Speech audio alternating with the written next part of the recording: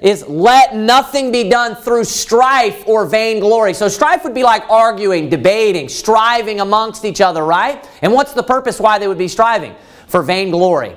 Glory for who, of course? Themselves, right? So let nothing be done for strife, or through strife, I'm sorry, or vainglory, but contrasted with that, it says this, in lowliness of mind. What's that saying? Humility, right? A humble person. Then it says this, it goes on.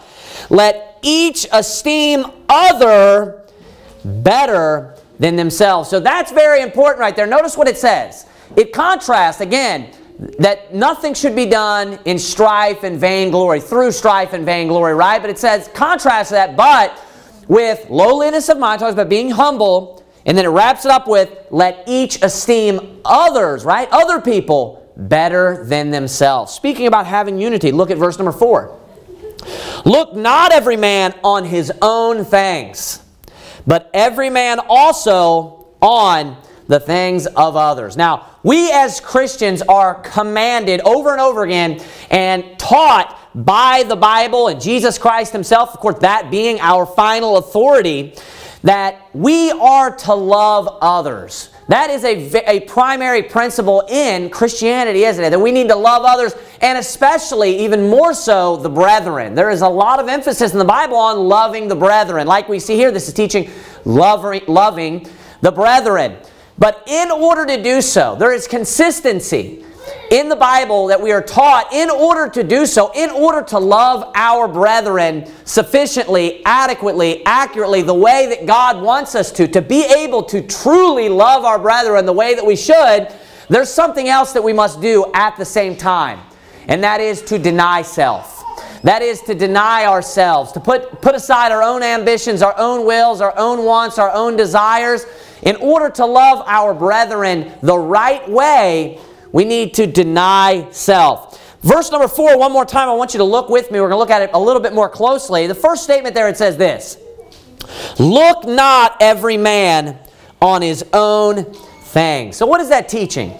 It's saying we should not be living our lives as Christians where all of our attention is on ourselves, where our eyes and everything that we're doing, our thoughts, our, our focus should not be on ourselves. That's why it uses the word look.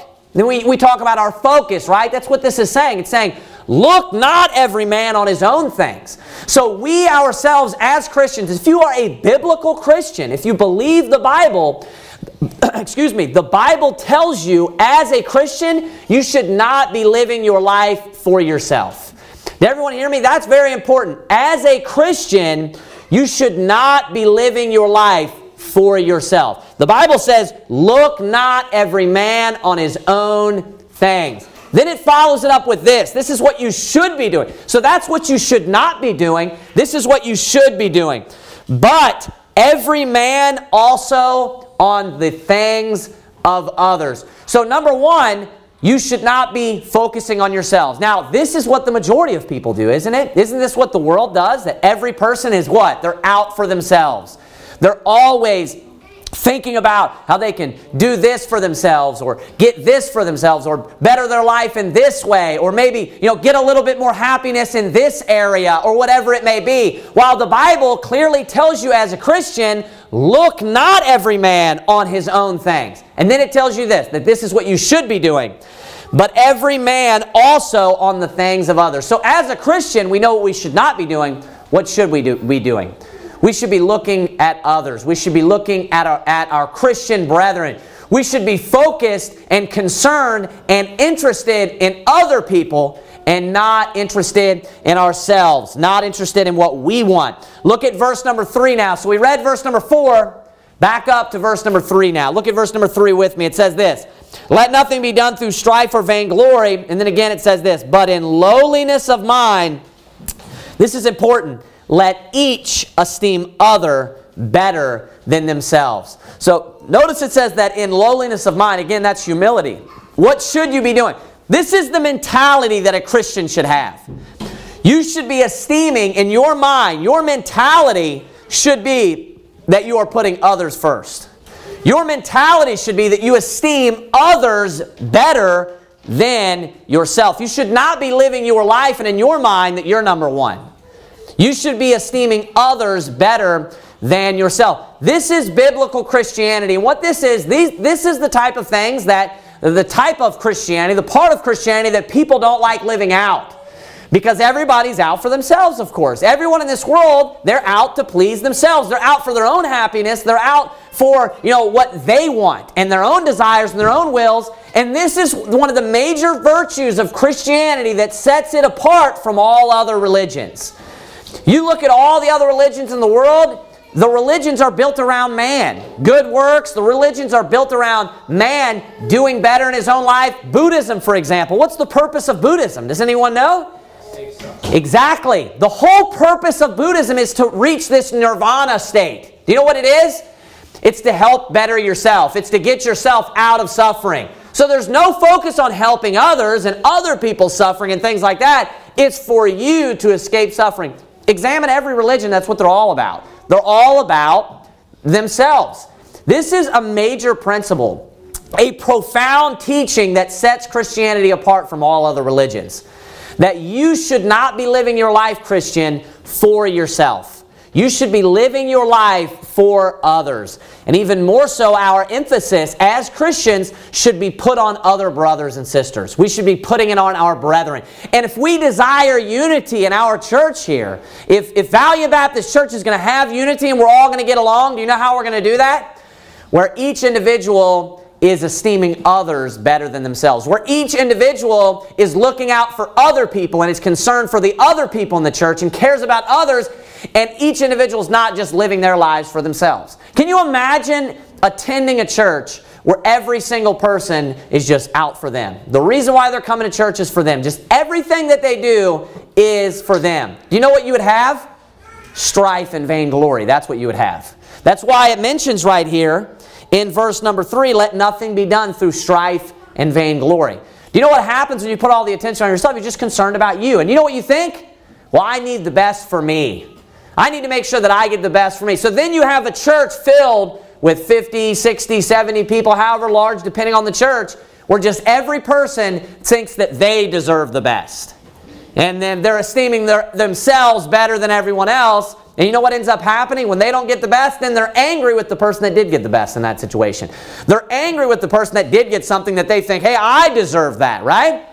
That's what happens in situations where, hey, I should be the one that's preaching. Hey, I should be the one that's leading the singing. Hey, I should be the one that they're trying to beat AJ out now for, for handing out the bulletins, right? I should be the one that's doing this. I should be doing that. That's the type of attitude that a person will have when they're esteeming themselves better than others. This is very key. This is the second greatest commandment according to the Bible. Number one, you have love the Lord thy God with all thine heart. And number two is loving your neighbor. That's the second greatest commandment. I looked up the last time I preached about this was about 11 months ago. I preached a full sermon about it. So I figured it was about time to preach another sermon on this subject because it is so important. And I'm going to show you that this is taught over and over again, but I want to put a different emphasis on it this time when I teach loving your brethren, loving your neighbor. I want you to realize tonight that in order to love your brethren, in order to love your neighbor, in order to love your Christian, your fellow Christians like you should, what you have to do is get all of the emphasis on your, off of yourself. What you have to do is you have to be, you have to be uh, uh, selfless. You have to actually deny self in order to love your brethren properly. That's why the Bible says, Look not every man on his own things, but every man also on the things of others. In order for you to be a Christian that is keeping the second greatest commandment that Jesus Christ gave, the way to love your neighbor properly is to deny self. It is to look not on the things of, of yourself. That is going to be the way that you can get to the point where you are loving your brother or loving your neighbor the way that you should. I want you to turn with me now to, uh, I want you to turn with me to John chapter number 13, verse number 34. John chapter number 13, verse number 34. I'm going to read to you from Matthew chapter number 16, verse number 24. Matthew chapter number 16, verse number 24, it says this Then said Jesus unto his disciples, If any man will come after me, let him deny himself and take up his cross and follow me. So I want you to notice what Jesus Christ commanded to someone that says, hey, I want to be a Christian. I want to, you say, hey, I want to be a Christian. Well, Jesus said this. If you want to follow Christ, he said this. If any man will come after me, let him deny himself and take up his cross and follow me. What does he mean, deny himself? You need to put down your own ambitions. You need to put down your own wants, your own wills, your own desires, all the things that you love and that you like. The thinking about yourself, the loving of yourself, all of that you need to set aside. He says, deny self. That's the exact opposite of loving yourself. In order to be a Christian, you know what you need to do? You need to deny self. And then he says this, take up and take up his cross and follow me. So when Jesus taught about being a Christian, this is talking about following him. That's what a Christian is, right? You know, it would be those that follow Christ. What was one of the things he said you had to do in order to do that? To deny self. Now, furthermore, to, to, to go even further with that, Think about this. While Christ was here, one of the things that he did for us was he set an example for us, right? And that is the following of Christ. So we can compare this same type of scenario. And how did Christ live his life? Was it for himself? Was Christ going around and just trying to do everything that he wanted and living his life for his own will and his own desires? Of course, he did the exact opposite. What was the purpose why he was here? He was to give his life a ransom for many. The whole, you know, the whole ministry of Christ was to help others. His entire ministry, he's healing, he's teaching, he's preaching, he's feeding what? Other people. He's not spending his time trying to do the things that he wants to do, trying to better himself, trying to just put all of the attention on himself. He's actually doing the exact opposite. He's being uh, uh, selfless is what he's being. And the opposite of being selfish, he's being selfless. And that's why he can say, hey, if you want to follow me, you're going to have to deny, to deny self because why? Because he did that. He denied self, didn't he? While he was living on this earth, he denied self. So that would make perfect sense. And in the context, we didn't read all of this, but in the context of Philippians chapter number 2, after it said, Look not every man on the things of, of himself, but every man also on the things of others. Do you know what the very next verse is? It says this, uh, Let this mind be in you, which was also in Christ Jesus. So in the context of how to have unity in the church, and it tells you to be selfless and not selfish, to deny self and love your brethren, then it goes on to say, let this mind that I just talked about, being selfless, you know, let this mind be in you, and it says, which was also in Christ Jesus. So that is how Jesus Christ lived his life. He was selfless. He denied self. And what did he do? In order to help other people, you have to set your own life aside, don't you? You have to take time and sacrifice time out of your own day. You have to sacrifice time instead of doing something for yourself and do something for other people. Now, Christ did that perfectly. He lived his entire life denying self. All the time, he was just helping other people. He was living his life, his ministry, was based around bettering other people. And that's how we should be at Christians, as Christians. If we here at Valiant Baptist Church are going to have a strong church and we're going to have great unity and a visitor comes in and they're like, man, those people are just on the same page. There is such great unity at Valiant Baptist Church. The only way, according to the Bible, that that's going to take place or that's going to happen is that everyone in here becomes selfless is that everyone in here becomes, I believe it's altruistic. Everyone in here is just denying self. It's selfless. It's not caring about yourself, but rather being concerned about each other. That would be the perfect church. If every person in here was just like, hey, I'm just worried about you, I'm worried about you, I'm worried about you, I'm worried about every single person in here, and I would do anything for you, that would be the perfect church you could go to. Because you fall, you got a million people to help you, right? You have any trouble. Imagine a church where everybody's concerned about themselves. If you're the one, you're only one that's concerned about you and you fall, who's going to lift you up? Not you, because you're down, right? So that's why it's built around everyone else, everyone loving each other, and not this self-centered type of attitude, right? So you're there in John chapter number 13. I'm also going to read to you from Hebrews chapter number 10, verse number 24 as well. You can stay there in John 13. I'll read to you from Hebrews chapter number 10, verse number 24, it says, And let us consider one another to provoke unto love and to good works. So notice over and over again we see the command to consider one another. Not to, you know, it's, it's not about putting the focus on ourselves. What we should be doing is considering one another. We should be thinking about our brethren. We could th be thinking about how can I better my brother. Look at everyone in here and think about, you know, maybe an, uh, an area where someone needs help. Try to help a brother in that area. Try to help a sister in that area. Think, hey, if you have this strength over here, well then, you know, identify somebody that maybe has that problem. Or if you notice that somebody has this issue, don't go to them in a prideful manner. But you should be desiring to help other people in the church. We should be just reading Hebrews 10.24 and then never putting it into practice. We should be considering one another and we should be provoking one another unto love and good works.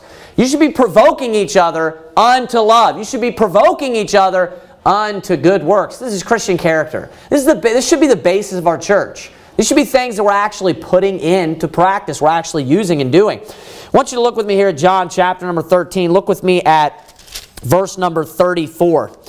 Verse number 34, it says this, A new commandment I give unto you, that ye love one another as I have loved you, that ye also love one another.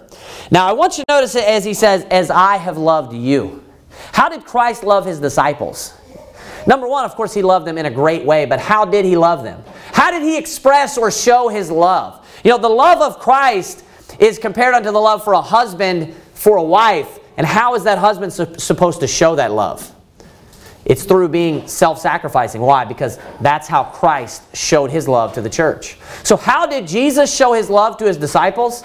Through being willing to sacrifice himself, being willing to deny self, being willing to set aside, you know, himself and get, you know, show his love to his brethren, to think about his brethren instead of himself. So he tells them then, and a lot of people misunderstand this, this commandment. This is not a commandment. I've seen, you know, uh, you know, a bunch of, you know, sodomites hold these signs up. Hey, you know, love one another. You need to love one another. This is not a commandment, number one, to the whole world. Now, there are commandments that talk about, and Brother Rick preached a good sermon about this, loving them with our, which are without. That's biblical too, right? And that doesn't mean you love every single person, by the way, but that's biblical too. But this commandment right here is Jesus is not speaking unto the whole world. The whole world is not gathered together and he's like, love one another. You know, love one another. That's not what's happening. Jesus has his disciples gathered here. And he says to his disciples, love one another. Right? That's like saying this in modern vernacular, love each other. That's what he's saying. This is a specific commandment that is very, very much emphasized in the New Testament by the Lord Jesus Christ for disciples of Christ to love other disciples of Christ, for Christians to love Christians, for brethren to love brethren. So it says this, a new commandment I give unto you, that ye love one another. And then he says this, this is the love that we should have for our brethren. As I have loved you, that ye also love one another. Do you know what type of love that we should have for our brethren? We should have a self-sacrificing type of love. Right? We, we, you know, there's not always the type of situation where, you know, I have to lay down my life for Brother Anthony. I'm not going to draw up a scenario where I can die for Brother Anthony, right? But there's other ways where you can you can be self-sacrificing and you can, you know, set your own ambitions, your own wills, your own wants, your own desires aside. Deny self and maybe I can help Brother Anthony. Deny self and I can help Brother Rick or Brother Hall or any of the other people in our church. Now, this is the attitude that we should have and we should learn from Christ. We should strive each day to be more like Christ and to keep His commandment. I want you to go now to, uh, just go over to John 15. John chapter number 15, we'll see this same thing talked about again to His disciples. So He's emphasizing this. This is very important. This is talked about all throughout the New Testament in all of Paul's epistles, repeatedly spoken of. 1 Corinthians 10, 24 says this, Let no man seek his own, but, ev but every man, excuse me, another's wealth. Do you notice that? Let no man seek his own, but every man another's wealth or welfare is what that how we would say that. It's not like, hey, I'm just trying to get, you know, my brethren rich. When it talks about wealth, it's talking about welfare, your well-being. That would be another way to word that today, right? It's saying that we shouldn't be seeking the good of ourselves. We shouldn't just be looking out for the good of ourselves every day, all day. We're just consumed on making our lives better, but rather we should be spending our time making our brethren, brethren's lives better. We should be looking for opportunity on how I, as a pastor, could better you. Or even I, as a brother, could better my brethren, right? Or you, as brethren, could, could better your other brothers and sisters in Christ. That's how we should be spending our time. That's how we should be approaching Christianity. It shouldn't be this constant focus on ourselves. Hey, yes, you know, you need to be keeping the commandments of the Lord, right? You need to be trying to walk in the commandments of the Lord and live a holy life, but your focus in your life should be on your brethren. You should be focusing on bettering your brethren. Look here with me at John chapter number 15. Look at verse number 12. John chapter number 15, verse number 12. it says this, This is my commandment, that ye love one another as I have loved you. Now watch verse 13. Greater love hath no man than this, that a man lay down his life for his friends. So right now he's talking to brethren. Those also called neighbors, and the Bible's talking about loving your neighbor, right? He calls them also here friends. And he says, again, I want you as my disciples, I want you to love each other. He's about to leave, and he leaves this commandment. I want you to love each other as I've loved you. And then he goes even further to explain what type of love he has for them, and he says, Greater love hath no man than this, that a man lay down his life for his friends. So what type of love is he saying that they should have for each other? a altruistic love, isn't it? It's a, it's a selfless love, a love that denies self, but then loves their brethren. In order to adequately and in order to sufficiently love your brethren, how Christ wants you to love your brethren, you have to first deny self. You have to deny self, you have to sacrifice things of your own in order to love your brethren. I want you to go with me now to uh, let's go to 1 Peter chapter number 3. 1 Peter chapter number 3. I'm going to read to you from 1 Thessalonians chapter number 3, verse number 12. The Bible says in 1 Thessalonians chapter number 3, verse number 12, And the Lord make you to increase and abound in love one toward another. And then here we see loving them which are without. It says this afterwards.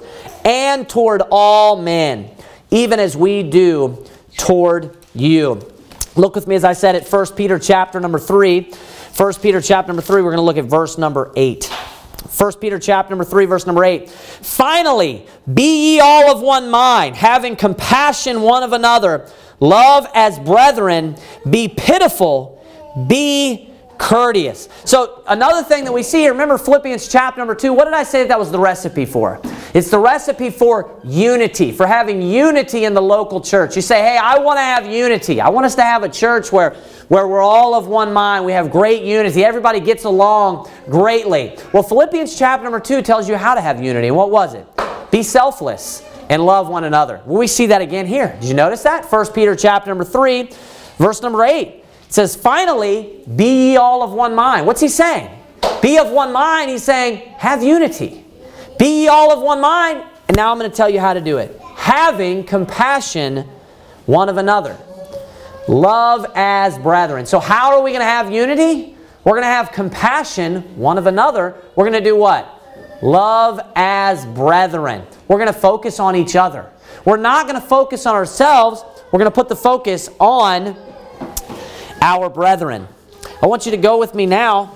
We're going to look at a few more scriptures here. Go with me now to uh, 1 John chapter number 4. A lot of these are strongly spoken of, and it's a theme, a great theme in the book of John. A lot of the, the authors are given specific revelations like Paul talks about, so they'll focus on specific themes. You know, uh, we see the Lord Jesus Christ being spoken of as the Word of God, and the Father, the Word, and the Holy Ghost also being spoken of a lot in, throughout the, uh, the writings of John oftentimes. Another thing that we see throughout the writings of John is this commandment, loving one another. We saw that in the book of John, that's recorded when they're out, and he, before they go to the Garden of Gethsemane, when they're singing that hymn.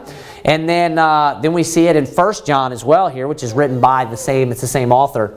I'm going to read to you now from uh, 1 Thessalonians chapter number 4, verse number 9. We'll see this again. But as touching brotherly love, ye need not that I write unto you. And then it says this, For ye yourselves are taught of God to love one another. I want you to look with me as I said, 1 John chapter number 4. Let me get there myself. 1 John chapter number 4.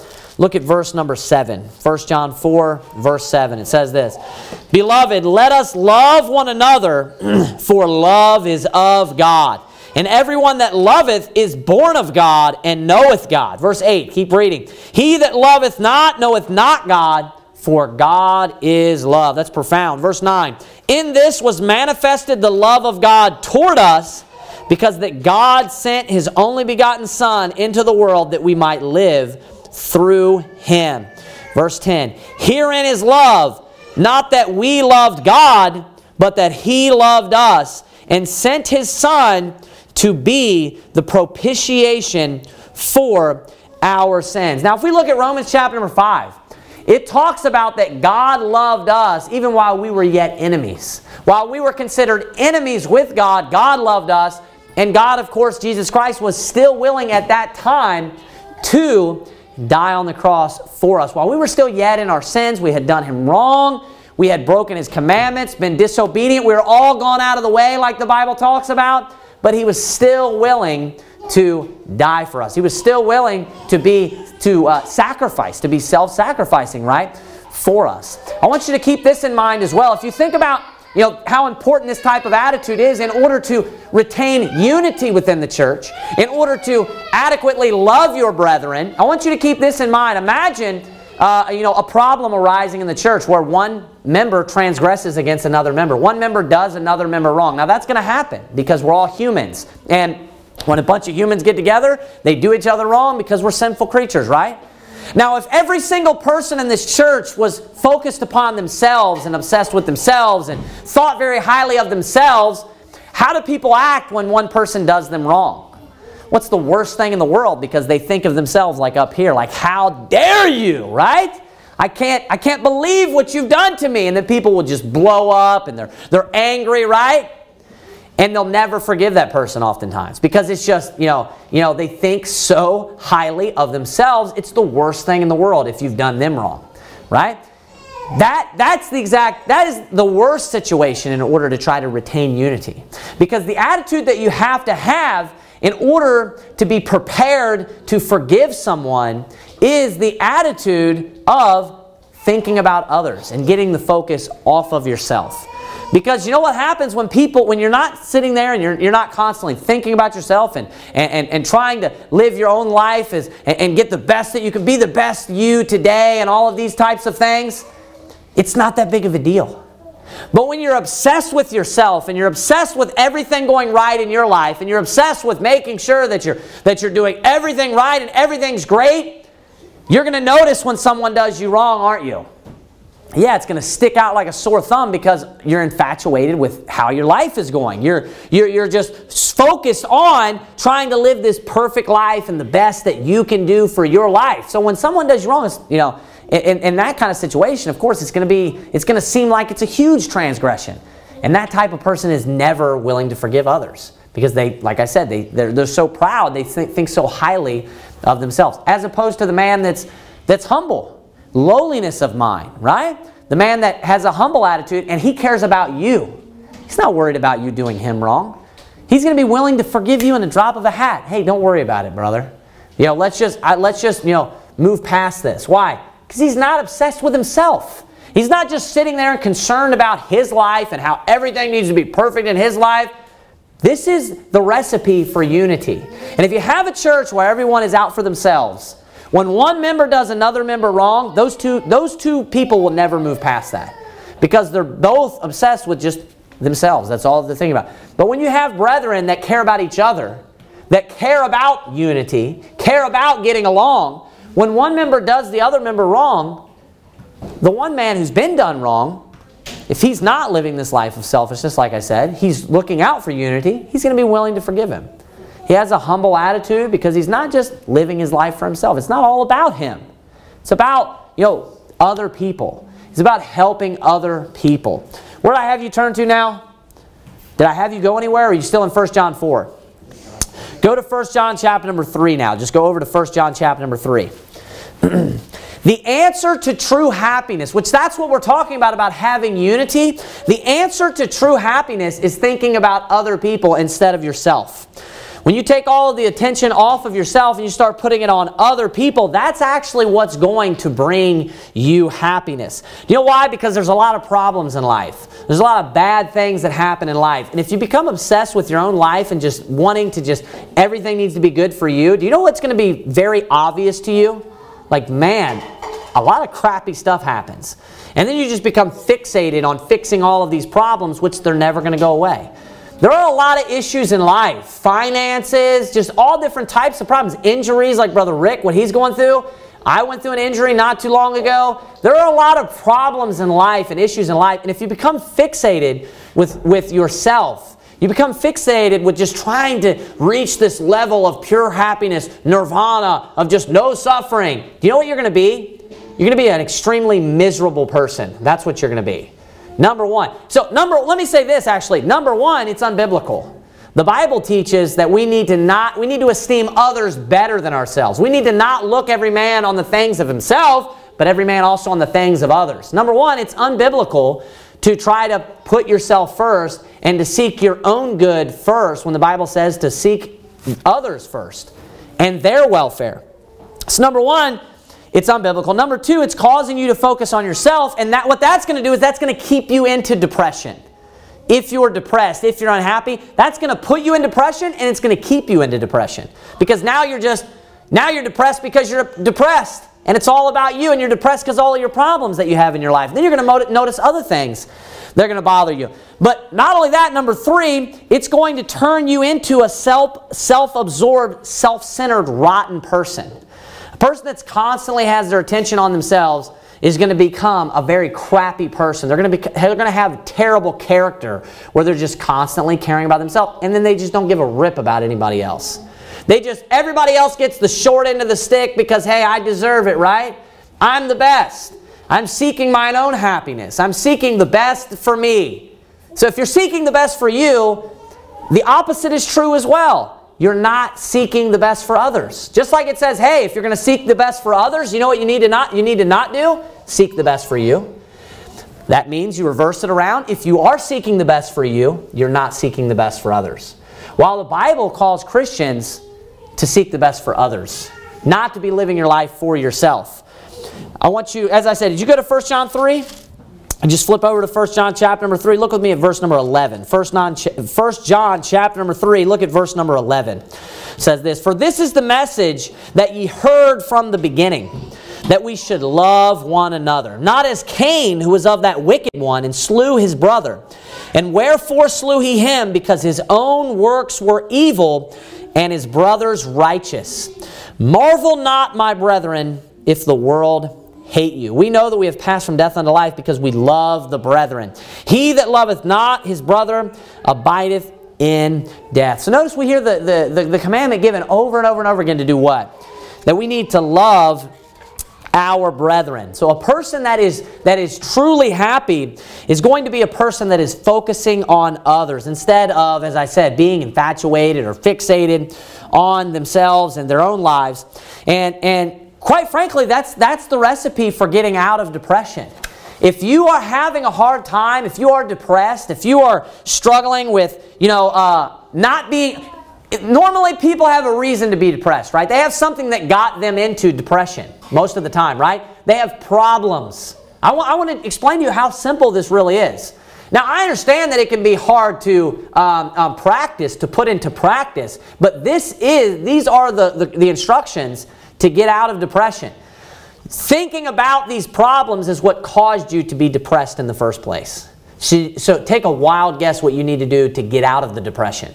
You need to stop focusing on the problems. What does that mean? You're focusing on your own problems in your own life. So if you take the attention off of yourself and you start worrying about other people, you start worrying about other people's happiness. And how happy are they? You know what you're going to quickly forget about? All of your own problems. You start actually loving others and striving to help other people have a better life and other people to love each other, and you want to bring unity in the church, you're going to stop thinking about all the problems that you have in your life. You're going to get the attention off of yourself, and then slowly, and, and before you even notice it, you're no longer depressed because you're not sitting there just dwelling in your own problems. You're not sitting there and dwelling on your own, uh, uh, your own issues and whatever it may be in your life. I want you to turn with me now to uh, go to Acts chapter number 20, verse number 35. Acts chapter number 20, verse number 35. Now I'm going to read something to you uh, real quick. Now, this is taken from Psychology Today, psychologytoday.com. So, by the way, just in case you were wondering about this, these people aren't Christians. You know, this is going to be the world, the wisdom of the world, right? Psychology Today, this is mainstream psychology, and they even say that. So I want to read something to you real quick. It says this, very first statement actually, this is the introduction, the first words of this. Popular wisdom tells us that healthy self-esteem is a prerequisite for a relationship. Then it goes on to say this, that without su sufficient self-love, we are not capable of truly loving others. And I've heard this many times, and I'm sure you have as well, that the first thing that you need to do, I've heard it my whole life, that the first thing that you need to do and what you need to work on in your life is first loving yourself so that you can love others. That's not what the Bible teaches anywhere. That's never taught from Genesis to Revelation. The way to have unity, the commandment that was given from Jesus to his disciples, what's spoken throughout the Bible from beginning to end on what we should do is to love our brethren. Not only love our brethren, for each man to seek that of his brother and not of his own. To every man needs to you know, uh, esteem other better than himself. That's the attitude that a Christian should have. That's why this says popular wisdom. This isn't something that's taken from the Bible. This is something that psychologists and, and, and the wisdom of this world teaches. That you need to love yourself. Now, this is the type of attitude that most people have. And do you know how most people end up? A stinking prideful, arrogant jerk that's just obsessed with themselves and will burn their neighbor, will burn their friend, will burn their family in a heartbeat. Do you know why? Because they're concerned about themselves. Now, this type of wisdom, the, the end of it are these types of self-help people, right? These encouragers, these people that try to get people out of depression. I'll tell you, do you know a, a particular person that went to a church that had a pastor like this? Is Donald Trump. I'm not kidding you. Donald Trump had a pastor. I can't remember the guy's name. If anybody else mentions, they can mention it. You know, they can they can holler it out. But Donald Trump's pastor was is this super well-known self-help, self-encourager type of, and he went to this church supposedly. I don't know how regularly. But he, he's name dropped this guy quite a few times. If you look him up, that's what he thrives on. He thrives on this type of stuff. Now, what's, what is the, literally the biggest problem that Donald Trump has in his life? Pride. Pride. Now, either a prideful man seeks this type of stuff out. You can look at it from either direction. Because a prideful man wants to sit there and have someone tell them how great they are. Hey, love yourself. You're so great. You've done this. You're just a great person. You know, you're, you're so great at these things. That's what a prideful person wants. Just sit there and just tell me how great I am. How, all the great things I've done, right? Right? And, and, and uh, they're, they're, they're told by these people, you know, you need to love yourself. You need to encourage yourself, right? You need to talk to yourself about how great you are, right? Or the opposite of that is if you sit in there, or the other side of that would be that if you sit under this type of, you know, teaching, this type of doctrine, you're going to become that type of person. You're going to become like a Donald Trump. When someone sits there and tells you how great you are, and you're told to sit there and tell yourself how great you are, and how you should love yourself constantly, all day, every day, what type of person you think you're going to turn into? A humble person? Get real. That's ridiculous. You're going to turn into this self-absorbed, you know, self-centered, rotten person. That's what you're going to turn into. If you sit there and just talk, talk to yourself. The Bible says this in the first place. Let another man praise thee and not thine own mouth, a stranger and not thine own lips. We shouldn't be sitting there thinking to ourselves how great we are. We should be esteeming others better than ourselves. Of course, we should be reaching out to people and encouraging people. If someone's depressed, you reach out to that person and tell them that you love them, tell them that you care about them. We should find our, our strength in the Lord in the first place. That's where we should find our strength individually. But then we should, it should, we should also have brethren. That's why you need to have a local church of Christians and brothers and sisters to encourage you.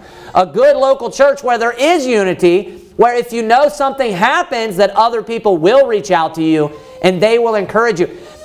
And not just encourage you in worldly things. Not just tell you how great you are, how beautiful you are. Encourage you in the Lord. Encourage you in something that's meaningful, not something that's vain You know, not something that's just foolish and, and silly and it means nothing. Real, real serious encouragement, spiritual encouragement, right? That, that, you know, be patient, you know, you know, trust in the Lord, right? Perfect peace have they that love thy law, and nothing shall offend. Give them, you know, think, keep, keep walking. Look at the life that Job lived. You can give people real encouragement. That is, those people were meant uh, to be an example for us. It says, look at the patience of Job. These people were ensamples for us in the New Testament. God wrote those down for us to use and to show our brethren when they're having a hard time. Not some stupid self-help self-love, self-encouraging type stuff. That's not God gave you what you needed in the Bible. God gave you the encouragement that you need. Look at Job. Look at Elijah. Look at the hard times all these people went through. Look at them and look at how God brought them through it and they became a better person. But do you know how they did? It wasn't through their own strength. It wasn't through their own flesh. It was through trusting in the Lord. That's how. It wasn't because somebody told them how great they were every day. That's not what helped them. God is what helped them. Trusting in the Lord is what helped them.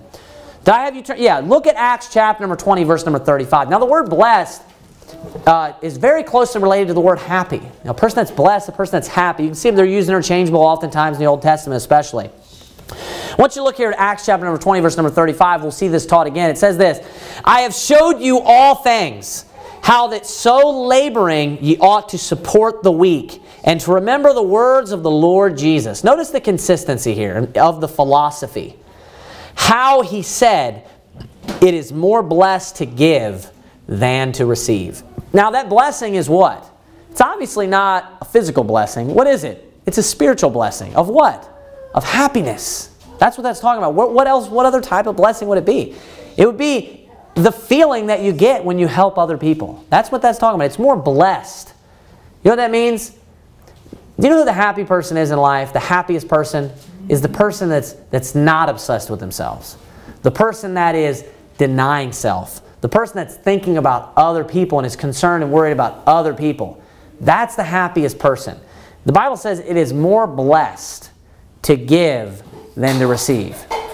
The type of person that's, that's giving, the type, of person that's sacrificing for others, the type of person that's living their life and esteeming others better than themselves, that's the humble man. That's the man that actually is living a truly happy life. I want you to turn lastly, the very last passage we're actually going to go to is uh, 1 Corinthians chapter number 1, verse number 31. 1 Corinthians chapter number 1, verse number 31. um, one passage that I've heard people use, um, you know, to try to teach like the love yourself type thing, that you should love yourself, is the, in the second commandment, you know, it tells you to love your neighbor what? As yourself. So people say, see, like the way that you love yourself, that's the way that you should love your neighbor. Well, number one, that creates a huge giant contradiction. So if you're saying like in the sense of like put yourself first, if that's what you mean by love yourself, well, I can prove that wrong many, many places in the Bible. How you're supposed to esteem others better than yourself. Look not every man on the things of his, of, on his own things, but every man on the things of others. And then the, the verse like I read in 1 Corinthians 10 that talks about not seeking his own, but seeking others. So we should be living our lives seeking the best for others, right? Well, we're, we're actually told what that verse means in Matthew chapter number 7. Matthew chapter number 7, what it means when it says love your neighbor as yourself. Anybody heard of the golden rule? Right? You've heard people say that before? What is the golden rule? How is it worded? It's actually not said exactly like that. But what is the golden rule? As you want to be treated, basically. In, in, you know, in essence, that's what it says. That's what, that's what Christ meant when he said to love your neighbor as yourself. I'm going to show you that here in Matthew chapter number 7. I believe it's Matthew chapter number 7. Look at verse number, oh man. Maybe it's Mark. Oh, I'm in Mark. Is it Matthew 7 12? Is anybody there right now? Look at Matthew 7 12. Does that look to be it? Okay, okay. I was in Mark, that's why. I didn't write it down and I thought I knew where it was.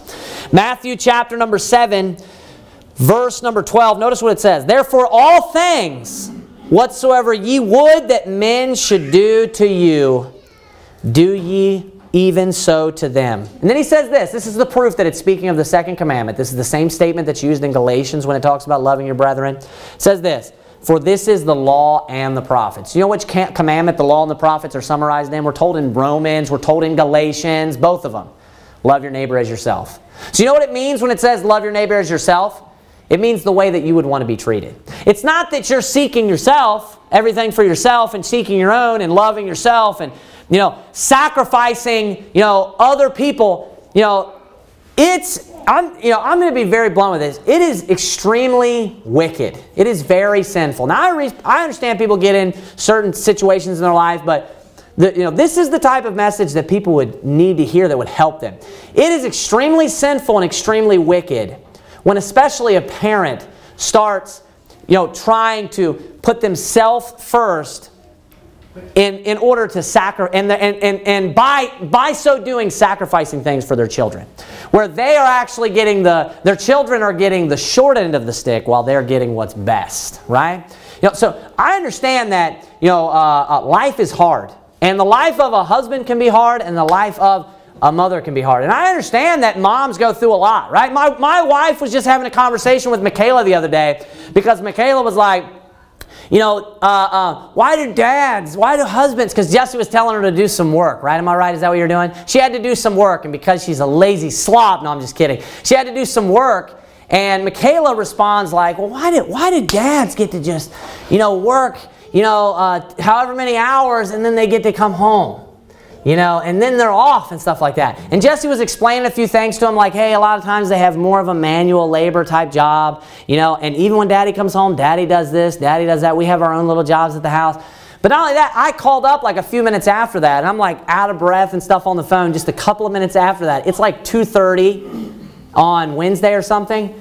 And I'm like, yeah, I just sat down and I'm getting ready to eat right now because we've had a super busy morning. And I guess Jessica like looked at Michaela and Jesse's like, she asked her, like, you still want to do what he does? And she's like, no. Not only that, like, think about this. You know, uh, uh there, see, there are differences in jobs. Your jobs may not be like this.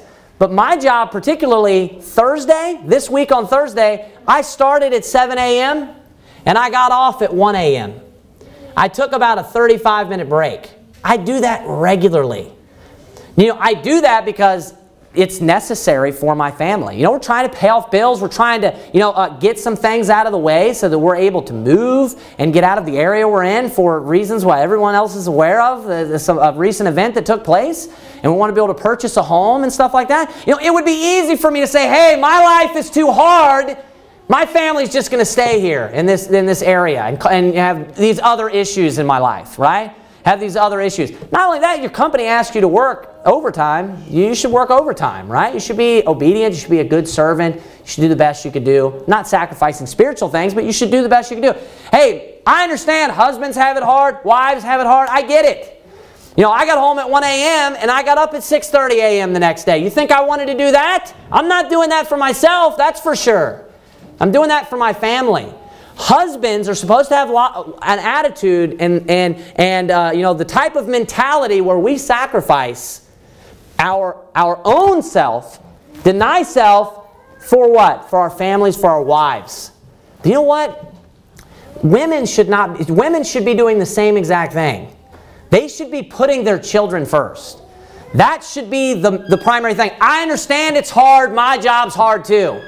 I get it's difficult. But do you know what? Your children are important.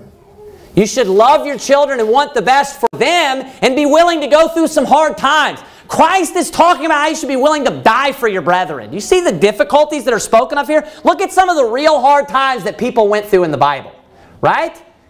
You know, sometimes in order to do the best for someone else, not sometimes, always, if you're going to do the best for someone else, there has to be at least somewhat of a sacrifice, right? In order to, to, to, to you know, help other people, you have to deny self. It has to happen. In order to be a good brother to all of your other Christian friends in here, you can't be a selfish jerk. You got to deny self in order to help them. You got to set aside what you want and help other people. There has to be a level of sacrifice for others. There has to be. Right? And, you know, I understand husbands' jobs are hard, women's jobs are hard. Do you know what we need to do? What's best for other people? What's best for your children? Father. What's best for your children? Mother. I get it. I, I, under, I totally understand. Everybody's got their own problems, right? But we, and we shouldn't turn to this, this, if we have issues and we have problems, we shouldn't turn to this, hey, you know, I just need to put myself first. I just need to do this. I just need to do that. This isn't what people want to hear, but do you know what you need to do? And too bad if this offends you. You need to stick it out. You know, I could have just laid in bed and slept the next day too. I could just do whatever I want to do and, and put myself first too. But you know what? Life's hard. And you're called to suffer. You're called unto suffering, like the Bible says. You're called unto, you know, sacrificing self. You know what you should do? You should find your strength in the Lord. Amen. That's what you should do. Find your strength in God. Life is hard. Life is hard. That doesn't mean, you know, you, you have these two different routes that you can go down. You can find your strength in the Lord, or you can find your strength in man, or you could just give up and not do a good job at all. These are your options, right? You, what we need to do is what is what is best for other people? What is best for my Christian brethren? What is best for my family? That's what I'm going to do. And I'm not thinking about what am I going what am I going to get out of it? What kind of sacrifices do I have to stop being selfish? I don't care. Because I, you know, personally, and I'm not boasting, I don't think like that. I think what is best for my kids? Well, I'm going to have to do a lot of I don't care. I'm going to do what's best for my kids. What's best for my wife? You know, I'm going to do what's best for my wife in whatever situation that is. That's what that's the attitude that we should have. It, we shouldn't be taking into consideration, you know, what about me? Let each esteem other better than themselves. That's the attitude that you should have. That's the attitude that every person should have. You want to have unity in your family? You need to put other people first. You need to be thinking about them first. You shouldn't be seeking your own, like Paul said in 1 Corinthians 10. But seek, seek the welfare of others. That's what you should be doing. What's the best thing that I could do for Brother Rick? What's the best thing that I could do for Brother Anthony? Everybody in here, what could I do that's best for you? That's the attitude that we should have as Christians. Not easy being a Christian. You know, everybody until, you heard it, until the rubber meets the road, right? In every situation, that's how it is. Until things get difficult, until you actually have to start sacrificing something in your life, right? Then people are, hey, I'm, I'm in. I'm in until actually until things actually do get difficult, until they have to start sacrificing something. Look here though at 1 Corinthians, what is it? 1 Corinthians chapter number 1. 1 Corinthians chapter number 1. This is where we should find our strength. So I want to reiterate one thing too. Of course I spoke about the second greatest commandment tonight. But I don't want to overlook the greatest commandment. And what is the greatest commandment? To love the Lord thy God with all thy heart, all thy strength, all thy soul, thy mind. You know, different passages are worded differently in parallel but to love God with everything that we have, basically, right? That's the first and the greatest commandment. That's the number one commandment. That's what we should put first. You know what the second is? To love your neighbor. To love your neighbor as, your, as yourself. What does that mean? The way that you want to be treated. That's how you need to love your neighbor. The things that you want him, them to do to you, that's what you need to do to them. That's how you, you need to love your neighbor. You need to have a self-sacrificing type of love. In 1 John, loving your neighbor and loving your brethren, the commandment that, Je that Jesus gave to his disciples, are used interchangeably. So we can see that that loving your neighbor is what kind of love? A self-sacrificing type of love. A love that is, you know, like I said, altruistic. A love that is selfless. That's the kind of love that we should have, right? We should be putting the Lord first is what we should be doing. And all, all glory should go to God for in every area. We shouldn't be putting ourselves first and trying to seek the best for us, we should be setting ourselves aside, putting God first, and then putting our brethren second. Look at 1 Corinthians chapter number 1, verse number 31. It says this, that according as it is written, then it goes on, he that glorieth, let him glory in the Lord. So this is a very important subject. It's something that needs from all from every church this needs to be preached behind the pulpit regularly. The importance of loving your brethren. The importance of loving your brethren. Let's bow our heads and have a word of prayer. Dear Heavenly Father God, we thank you, dear Lord, for your word. We thank you, dear God, for setting the example and showing us uh, that we need to be selfless, that we need not to be selfish, not putting ourselves forward. Help us not to fall into the world's wisdom, dear God. Help us not to, to, to make selfish de decisions that may harm other people, may hurt others, but to put others first, not to put ourselves first, not to put all the focus on us and to, and to uh, you know, negate other people and to you know, uh, not think about other people. Dear God, help us to put all of our focus on you primarily, but then also on your people. We love you. Be with us. Keep us safe. Keep the other families safe, dear God. And uh, we ask you that you would uh, bless our church. Help us to grow. In Jesus Christ's name, amen.